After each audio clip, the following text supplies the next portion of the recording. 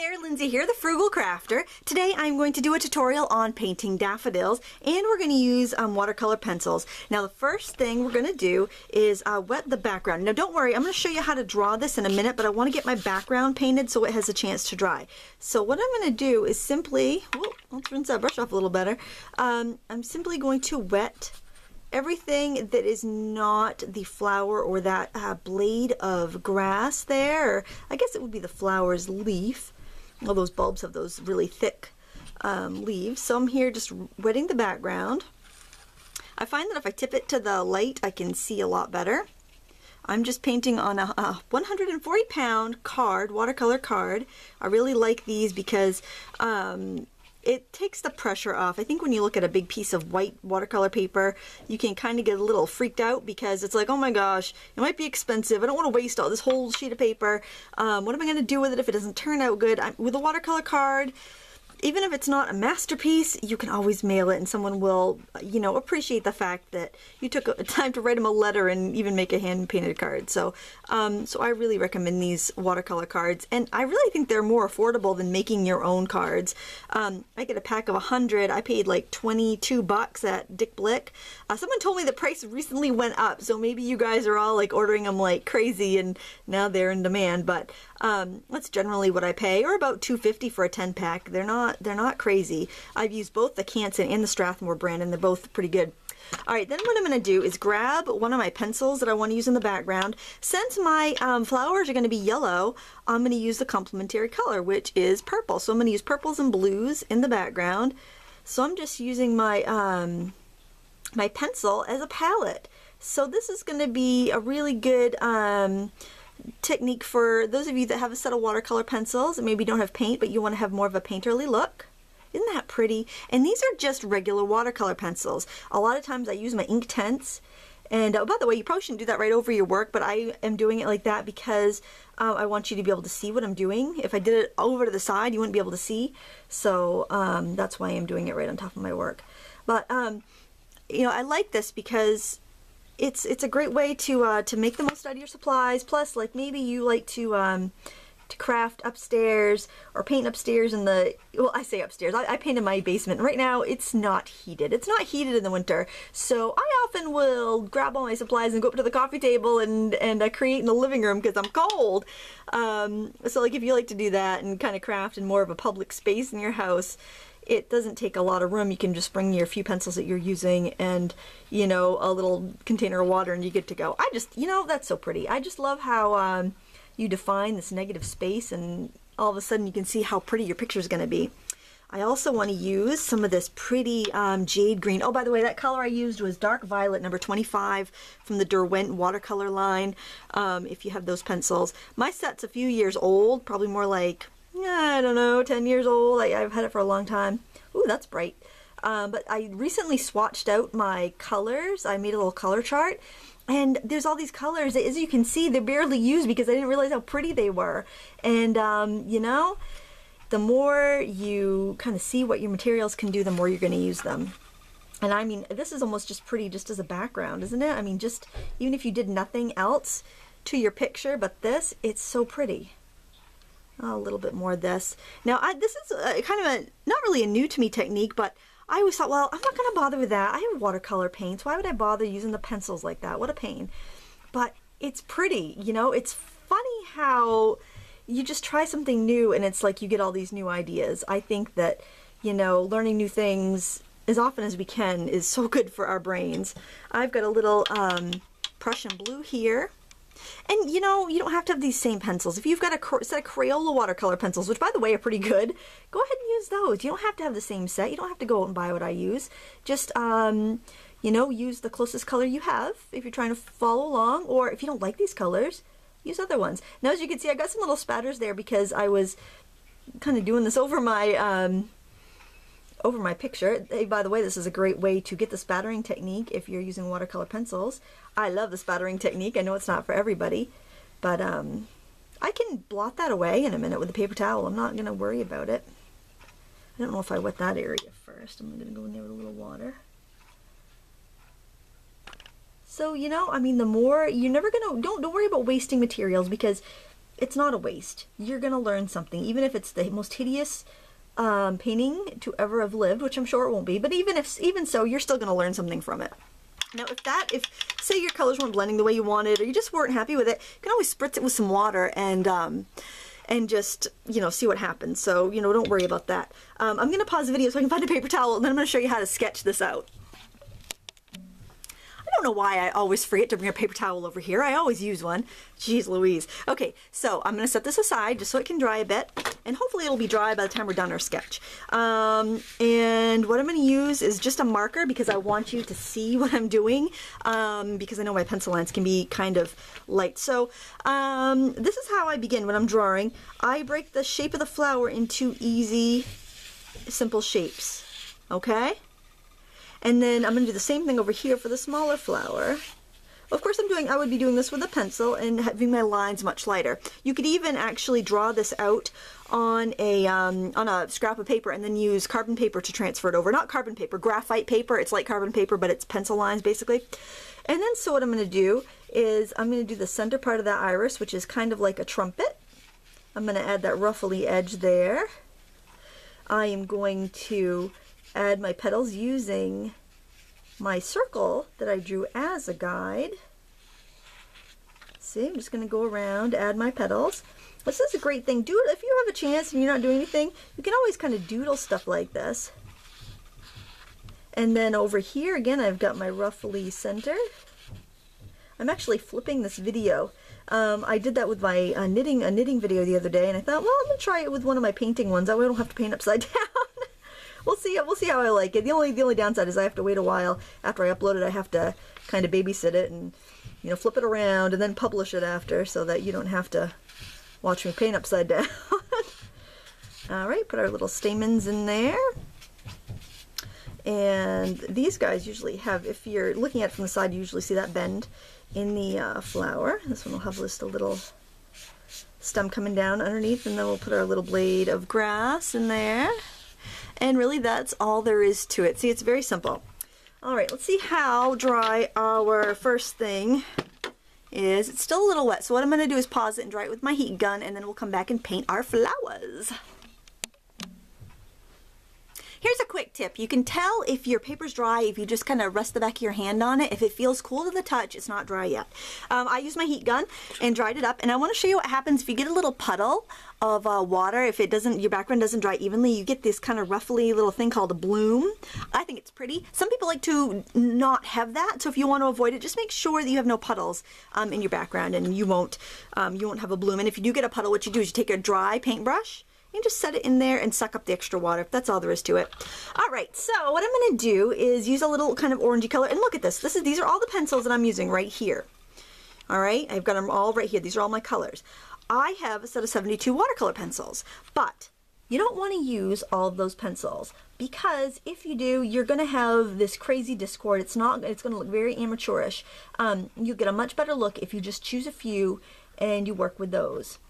You can even buy your pencils one at a time and um, use the colors you're going to use more often and that will really it'll help you as a beginner because it'll teach you how to control your colors and um, and how to really use every color you get so you won't have those colors in your set that you never use. So limited supply is is a great way to go if you're a beginner. Not only does it save you money but you'll actually learn more. I'm adding a little of this uh, this is Spectrum Orange 11 um, or it's just basically like a regular pretty middle of the road orange or lighter orange if you want to um, just use what you have, which you should absolutely do. There's um, nothing really that special about these regular Derwent watercolor pencils. Um, just, just, uh, just use what you have. Or, you know, I do like the Derwents if you um, if you are looking for a brand. Okay, and then what I'm going to do is I've got kind of a medium yellow. This is um, deep cadmium, number six, if you do have the Derwents. And you're, if you go out and buy Derwents, they're not going to look like this because they change the color of the barrels. This, I don't even know if they're hexagonal anymore. Um, so they used to be gray, and I liked it because they actually had a bigger reference on the end. Now they have the tiny reference, and I think they're like dark blue. But um, so if you go run out and buy them because you really enjoyed this tutorial, um, you look, make sure that, uh, you don't freak out if they, if they don't look the same because they just don't. Now these petals that are kind of tucked in behind, I am using this dark, this uh, deep cadmium yellow on because I want them to kind of fall behind and be a little bit darker. because I have a little bit lighter of a yellow I'm going to use in a minute. I like to do, uh, to get a smooth blend, I like to do all my coloring first, and then, um, then I go in and add the water.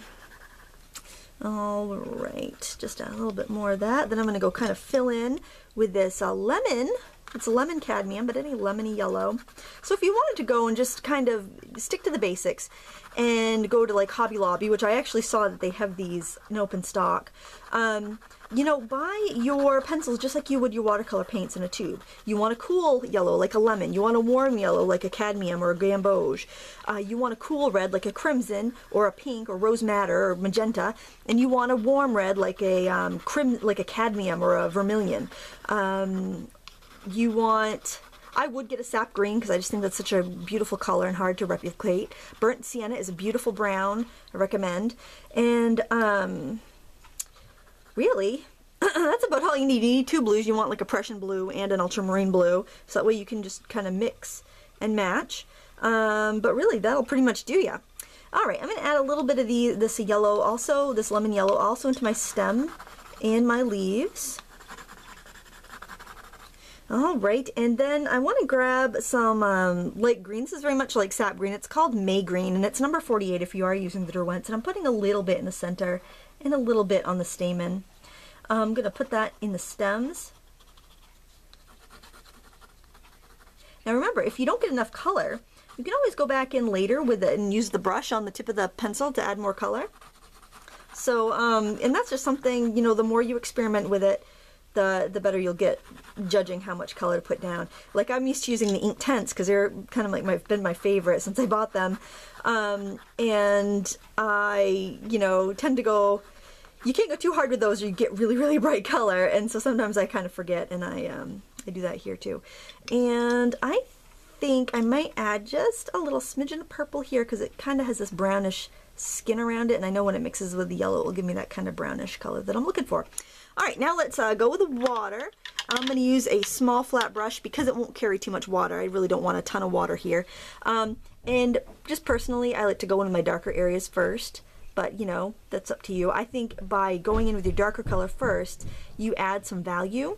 And um, it just helps you... I think it just kind of helps define everything. Now, isn't that pretty? It just blends so well. I'm going to go over here to the uh, outside here with this darker yellow. I do notice that um, when I'm using watercolor pencils, my colors don't want to um, run into each other as much. So you do have a little bit more control.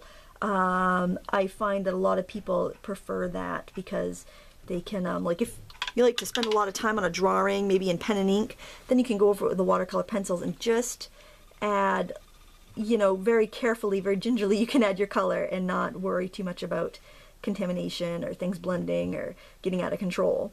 So it just kind of depends on what I'm in the mood for. Um, and I did get a request to do a tutorial um, of the watercolor pencils, so that's why I'm doing that. I just heard my kids and husband get back from basketball upstairs. They're probably going to come tramping down the stairs any moment because we're um, going to be decorating the house for Christmas. We uh, we cleaned this morning. I said that was one of my conditions that we got to clean the house first. My other condition was that um, that I get to get a cute picture of my children for my Christmas card. So I got to get them in the right mood. They want to decorate the house? All right, I need a Christmas card photo, guys. Work with me here. So uh, hopefully, hopefully I'll get a good picture today and then I'll show you a tutorial on how I make my Christmas cards. But I might have to wait a couple days. I want to make sure I can get them in the mail first. I don't want anyone that watches my, uh, my channel that gets my Christmas cards to be surprised too early. I want them to get it in the mail first. Although, you know, I think about it and I really don't think many people I know in real life actually watch my videos. If they did, they'd probably think I was completely insane. Although, you know, it's funny, I, I do some of my uh, my son's like schoolmates will say that they uh, that they watch my videos. It's funny, the little uh, his crafty friends. I'm sure he's just so thrilled. He's probably like, "Oh my gosh, mom, you're so embarrassing." Which, you know, I am. He'll think I'm cool one day. I hope. My girls still think I'm cool, but my son, I don't know. I think he thinks I'm a big dork. Well, I am, but still. Uh, okay, I'm going to go in here and do the stems. Look how quickly this is coming along. And I'm going to get this little brown. But see how that purple mixed with the yellow and green and made that lovely little brown? I like that. All right, what are we doing? Oh, we're at 14 minutes. We are going to finish this under 20. That is good, good news. Good news, good times. Don't you love quick painting projects? I sure do. Gotta get this done before somebody tromps down the stairs and cracks me up or something. I just heard, oh, the dog just came down. I heard a jingle jangle. That's Hazel for sure. All right, now, um, oh, I want to do the, uh, oh, there's a water pump, so I'm going to talk really loud to finish this up. All right. Maybe I'll pause it until that stops. Okay, I'm back. I have guests in the studio with me, so I'm going to try to wrap this up. They're very anxious to decorate the Christmas tree, so uh, they're waiting on me. uh, what I'm doing here is I um, took taking some of the uh, orange colored pencil and I'm just accentuating the orange areas. Uh, so I can add a little more depth of color here. And it's up to you whether you want to blend it out with water afterwards or if you want to leave it bright and uh, if you want to leave those pencil marks in there. I like to blend it out, but that's completely up to you. And um, I would actually go, I would uh, blend it out as you're building up the color so that you don't end up with more than you want. Um, and then if you did want some like defined lines, like say where the um, the center of the flower kind of has these wrinkles and crinkles, like if you wanted to define that, you can go right in on that wet paper and you can pull some through. Now if you're used to the Inktense pencils and you're trying regular watercolor pencils, it's not going to be so vivid. If you have the Inktense pencils and you're following along with those, which this will be fine with the Inktense pencils, colors will be brighter and a maybe a little bit tougher to control, but it, they'll definitely be pretty. Um, you'll end up with some really dark lines there, so just um, just be aware of that as you're working. And um, if you're having trouble seeing anything I'm working on here, just um, if you're watching this on my YouTube watch page or on my blog, you probably have a small screen. Just click in the little corner. Um, where is it? Oh, I don't know. The bottom of the screen. I'm going to flip this, so I think it's down here in the bottom of the screen um, you'll see a little spot where you can magnify the screen. Um, I think it's down near the YouTube logo, but that'll make it a little bit bigger for you. It'll make it a little bit easier for you to see. Alright, and I do want to add a little more green to the stamens. And maybe a little bit more yellow too, the lemon yellow, because I want a, a nice vivid bright. And lemon yellow is closer to green on the color wheel. Just make sure if you're going between two kind of different colors like orange and green, you clean your brush off so you don't end up with contamination. Then uh, I want to add a little bit more shading on the petals just to give them a little bit more interest. And uh, daffodil petals are very thin and papery and light, so you don't have to um, you don't have to add too much here. You don't want to overdo it or you'll make them look stiff and unnatural. You can add a little bit of orange into the petals too if you feel like you need a little bit more, um, a little bit I don't know, more opacity or something. Um, and you can even add a little bit of watered down purple. And I would put the purple on your brush and then add it if you want to add some shadows. Um, just try not to overdo it because you will get brown if you overdo it. It's just kind of if you want to add a little bit of a little bit of shadow here and there. You don't want to add too much. You might make it look like the flower's gone by and it's kind of cruddy looking. So just use that with a little caution. Add a little more water to that. I do like the small, whoop, brush. I do like the small flat brushes for this because it does seem like it doesn't hold too much water and it really pushes the pigment around. Um, it, I find that these don't hold enough water when I'm watercoloring with my regular paints, but I really like them for like water-soluble pastels or watercolor crayons or watercolor pencils because they just have enough, they hold just enough water. You don't need too much water with those mediums and um, they're stiff enough to gently push the pigment around without damaging your paper. This is a half inch flat Aqualon brush if you're curious, but um, they don't have to be Aqualon. There's I just I happen to prefer the uh, clear handles, the plastic handles, because um, I have a tendency of leaving my brushes in my water. I get distracted, or the kids, you know, come down and want to decorate a Christmas tree, and I've left my brushes in the water. And if I don't, um, and if that happens in their wood, then the paint cracks and my bristles get my ferrule gets loose, and it's not very fun to paint with. So there you go. There it is. Uh, we have daffodils. Um, I hope you enjoyed this tutorial. And um, please thumbs up and subscribe and tell your friends and share it on Pinterest and Facebook and wherever you meet people. I would just love it. I want to thank you so much for watching. And um, until next time, happy crafting.